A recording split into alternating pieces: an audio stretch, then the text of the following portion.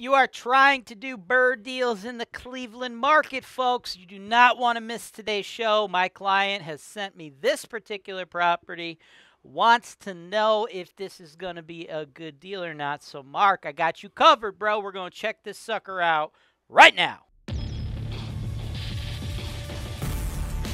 This is your show. This is the show where I work for you directly, taking your needs I'm going through the MLS and I'm trying to find the best possible deal for you guys. Put down 25%. That's the perfect way to buy this. That's why real estate investing is the greatest industry in the world. Welcome to the show, folks. My name is James Wise, and I am here to help investors like you invest in the Cleveland market, right? Mark, you had sent me this particular BRRRR deal, right? Uh, this is a cool neighborhood. I dig this neighborhood, right? We're dealing with ARVs around 100K here. 1019 West 20th Street, Lorain, Ohio, 44052. Just hit the market four days ago, 49K, right? Great rental market, great place to do bursts, right? Buy, renovate, rent, refinance, repeat. Normally, I would love this property. Uh, it first glance appears to be friggin' awesome, dude.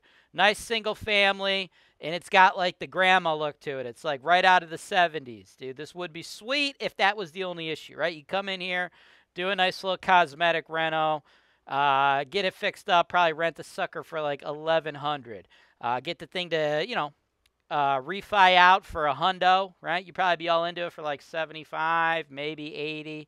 It would be an awesome BRRRR deal. But unfortunately, it's not. And this is why. This killed it right here. This is it. This blew your budget. You have extreme foundation uh, shifting and damage and cracking right here, which is visibly evident to us, number one. And number two, what these things are.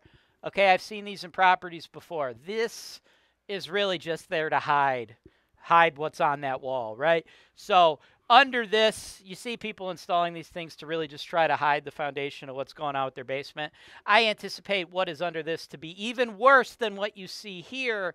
And this right here is enough to just kill the whole deal, bro.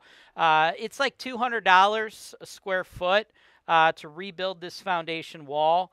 Uh, so with the ARVs we are dealing with, uh, areas where you have properties where the most they can be worth is going to be 100K it's just not going to pencil out. You, you, it's just cost prohibitive uh, to completely rebuild a foundation with that level of damage in a neighborhood uh, with a ceiling this low, right? It's not going to pan out, not going to make any sense. And if you're trying to do the BRRRR deal, a big part of the BRRRR deal is the refi. There is no lender that's going to write you a mortgage on this particular property with the foundation looking like that. So that just smoked your deal, man. This one is a no go. Thanks for watching. Subscribe to Holton Wise TV for more financial information, education, and entertainment.